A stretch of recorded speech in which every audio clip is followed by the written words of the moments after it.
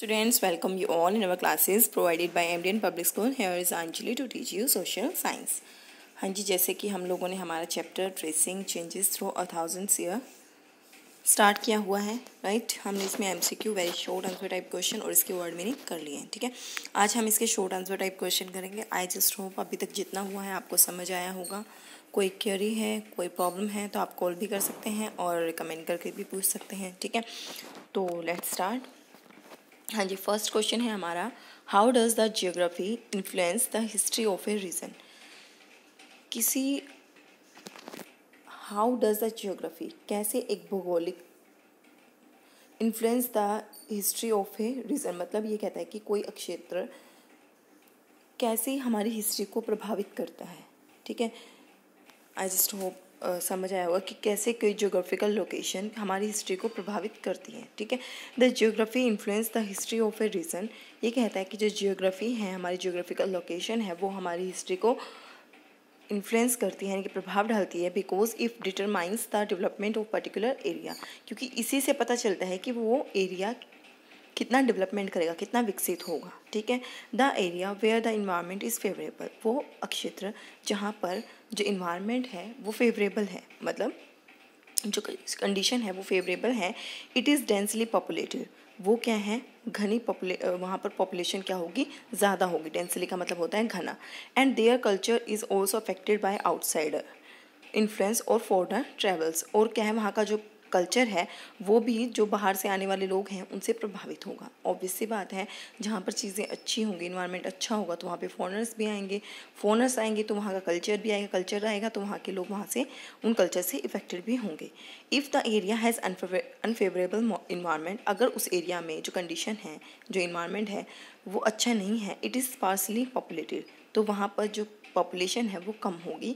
The culture developed there is no much affected by outside influence as well as travel travellers to go there और वहाँ का जो culture है वो भी क्या है आउटसाइडर्स से प्रभावित नहीं होगा, यानी कि बाहर के आने वाले लोगों से प्रभावित नहीं होगा, क्योंकि जब वहाँ पे इन्वायरमेंट ही फेवरेबल नहीं है तो वहाँ पे लोग भी नहीं आएँगे ट्रैवल करने के लिए, ना ही कोई बाहर से आके वहाँ पर रहने के लिए आएगा, ठीक है? तो वहाँ पे कल्चर कैसे आएगा बाहर का? तो आई जस्ट होप आपको समझ आया होगा कि हिस्ट जो पास्ट है हमारा, उसमें क्या है, जहाँ पर फेवरेबल कंडीशन होती थी, वहाँ पर लोग रहते थे, अभी भी यही है, ठीक है? और वहीं पर क्या है, बाहर से आने वाले लोग भी वहीं पर रहना पसंद करते थे दैट्स वाई वहाँ पर क्या है, बहुत सारे कल्चर देखने को मिलते थे, लेकिन वहीं पर जहाँ पर सिचुएशन अच्छी नहीं होती थी, वहाँ पर क्या है ना तो फॉरनर्स आते थे और वहाँ पर उनकी पॉपुलेशन भी बहुत कम होती थी। आई जस्ट होप आपको अभी तक समझ आया है। नेक्स्ट क्वेश्चन है हमारा describe any two archaeological sources of the medieval period in India ये कहता है कि हमारे माध्यमिक काल को जानने के लिए, भारत के माध्यमिक काल को जानने के लिए दो आर्कियोलॉजिकल सोर्स बताइए। ठीक है? We know archaeological source are mainly building and the objects found in the ground आपको पता ही है कि जो आर्कियोलॉजिकल यानी कि पुराने समय के जान को जानने के लिए जो सोर्सेज हैं, वो मेनली बिल्डिंग्स हैं और वो ऑब्जेक्ट्स हैं जो हमें पृथ्वी के, यानी कि धरती के नीचे मिले हैं। ठीक है? Thus buildings paintings coins sculptures and inscription of the medieval period are the important source of the history of this period इसका मतलब क्या है? जो बिल्डिंग्स हैं पेंटिंग्स हैं, सिक्के हैं, जो स्कल्पचर स्तूप हैं और इंस्क्रिप्शन यानी कि शिलालेख हैं, माध्यमिक काल के वो एक इम्पोर्टेंट सोर्स हैं जिसके, जिससे हम क्या है? पुराने समय के बारे में जान सकते हैं। अमंग द बिल्डिंग्स बुलंद दरवाज़ा, उन बिल्डिंग्स में से Buland Darwaza red fort Lal Qila, Taj Mahal, Qutub Minar etcetera are the this period ये क्या है? उसी पीरियड के हैं.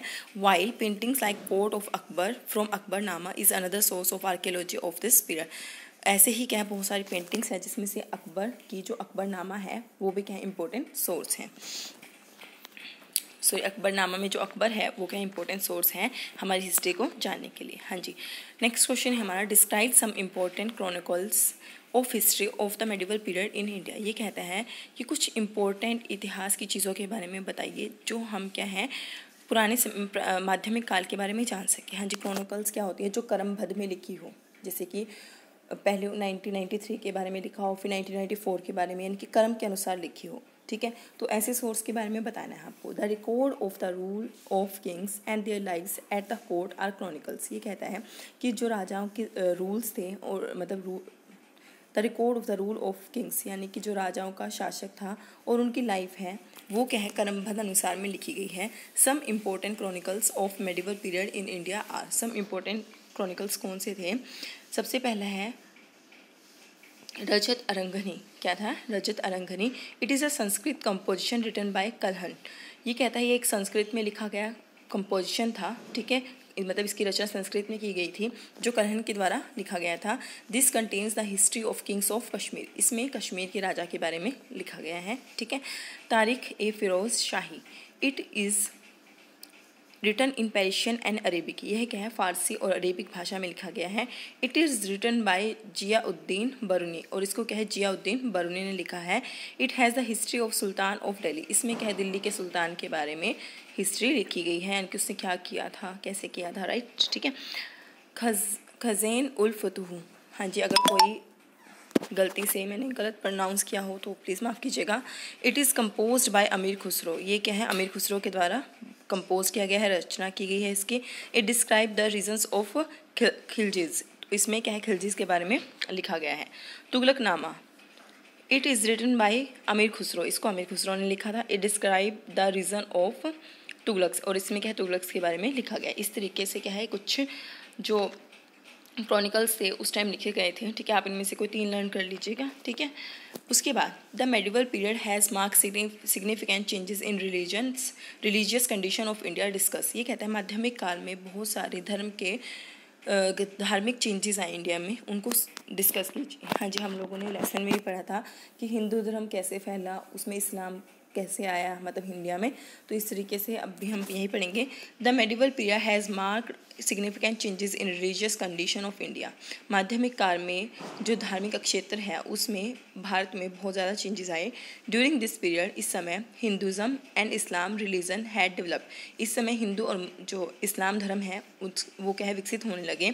In Hindu new deities came to be worshipped as some tribal and forest group were absorbed into Hindu society ये कहता है कि उस समय कुछ नए देवी देवताओं की पूजा की जाने लगी, क्योंकि जनजाति, यानी कि आदिवासी जो लोग थे थे, जंगलों में रहते थे, ठीक है, वो भी क्या हिंदू धर्म की तरफ़ अट्रैक्ट होने लगे या उसमें शामिल होने लगे due to this tribal idea of worship were brought in Hindu religion जिसकी वजह से ये जो आदिवासी जो आइडियाज़ थे पूजा के, वो क्या हिंदू धर्म में आने लगे।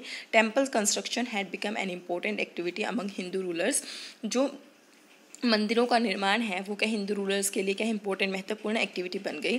The important of the importance of Brahmins and priest grew जो ब्राह्मण और पुजारी थे, उनकी इंपॉर्टेंस बढ़ गई। The idea of bhakti was emerge during this period जो भक्ति का आइडिया हम कहते हैं ना, पूजा, भक्ति, पाठ, ये सब करना चाहिए, ठीक है? ये जो आइडिया था, वो उसी टाइम समय क्या है जन्म लिया था इस आइडिया ने। Bhakti movement attract people from all section भक्ति का जो मूवमेंट था, इसमें क्या सभी सेक्शन अट्रैक्ट हुए? ये नहीं कि एक पर्टिकुलर धर्म या एक पर्टिकुलर जाति के लोग थे सभी लोग क्या से अट्रैक्ट हुए while Islam emerge as a new religion during this period जबकि इस्लाम क्या एक नए धर्म की तरह आया था। Islam believe in Allah as one god उनके यहाँ सिर्फ़ अल्लाह को मानते थे, वही उनका एक भगवान था and teaching of prophet prophet Muhammad, और क्या है, वो पैगंबर मोहम्मद को जो शिक्षा थी, उसको मानते थे। मतलब मोहम्मद, उनके क्या है, एक पैगंबर थे, उनकी शिक्षा, दी गई शिक्षा को वो मानते थे। These teaching of Muhammad are in the holy books Quran और जो ये उनकी शिक्षा थी उन्होंने, जो वो सिखाते थे, उन्होंने एक बुक में लिख दी जिसका नाम था Quran. Many rulers were patrons of Islam बहुत सारे जो रूलर्स थे, शासक थे, वो क्या पैगंबर बने इस्लाम के। After prophet prophet Muhammad Muhammad death a Khalifa succeeded him at as the religious and political head of Muslim community Muhammad की डेथ के बाद, पैगंबर मोहम्मद की डेथ के बाद एक खलीफा, उन्होंने उनके वंश को आगे बढ़ाया मतलब इस धर्म के वंश को आगे बढ़ाया और क्या है मुस्लिम्स के हेड बने। Later Muslim community split into two sects Shia and Sunni इसके बाद क्या हुआ? जो मुस्लिम कम्युनिटी थी समुदाय था वो क्या दो भागों में बट गया? शिहा एंड सुनी वो Shia Ali was legitimate leader while Sunni accepted Khalifa as head of community जो शिहा अली थी वो तो क्या है वैद लीडर थी उनकी ठीक है? जबकि सुनी को लोगों ने आ, आ, accepted Khalifa as a head of community जबकि सुन्नी में क्या है, खलीफा को उन्होंने हेड के तौर पर अपनाया था। हाँ जी, शीहा अली तो क्या है, उनकी वैध लीडर थी, ठीक है, लेकिन खलीफा को उन्होंने, जो सुन्नी थे, उन लोगों ने अपनाया था अपने कम्युनिटी के हेड की तरह। Hanafi and Shafi schools become popularly popular in Islamic law in India ये कहते हैं हनाफी एंड शाफी, जो स्कूल थे, वो क्या है इस्लाम लॉ में क्या है, बहुत फ़ेमस हुए। Thus these two religion Hinduism and Islamic brought a great change in religious condition of India during medieval period इस तरीके से आप देख सकते हैं कि जो हिंदू और मुसलमान ये जो इस्लामिक जो धर्म है, वो कह कैसे माध्यमिक काल में एक चेंज लेकर आया है। जस्ट होप आपको समझ आया होगा। ठीक है, थोड़ा सा लॉन्ग है, लेकिन कोई भी लाइन ऐसी नहीं थी जो इम्पोर्टेंट ना हो। ठीक है तो इसीलिए मेरे को ये पूरी करवानी पड़ी। कल हम इसके लॉन्ग आंसर टाइप क्वेश्चन करेंगे, ठीक है? और इसके बाद ये चैप्टर कंप्लीट हो जाएगा, ठीक है? तो मिलते हैं हमारे नेक्स्ट क्लास में और आपका जो टेस्ट है, वो चले हुए हैं, ठीक है? आप उनके लिए जो वीडियोज़ मैंने उन लेक्चर चैप्टर के रिगार्डिंग प्रोवाइड करवाई है, उसमें से आप तैयारी कीजिए, ठीक है? उनसे अलग कुछ नहीं आएगा। जो भी कंटेंट्स आपके वीडियो लेक्चर्स में आपके यहाँ पहुँचे हैं, सिर्फ़ वहीं आएँगे। उनको बार बार देखिए, उनको लर्न कीजिए, ठीक है? क्वेश्चंस को भी ध्यान से सुनिए, क्योंकि ये नहीं है कि सिर्फ़ उस चैप्टर में से आएगा क्वेश्चंस को और चैप्टर को, दोनों को अच्छे से बहुत ध्यान से सुनिए और लर्न करने की कोशिश कीजिए, जो शॉर्ट आंसर टाइप क्वेश्चन है या जो भी क्वेश्चन हैं, ठीक है? तो उसमें से ही आपका पेपर आएगा। तो best of luck luck for your exam and मिलते हैं हमारे नेक्स्ट क्लास में, तब तक के लिए स्टे सेफ़ स्टे हेल्दी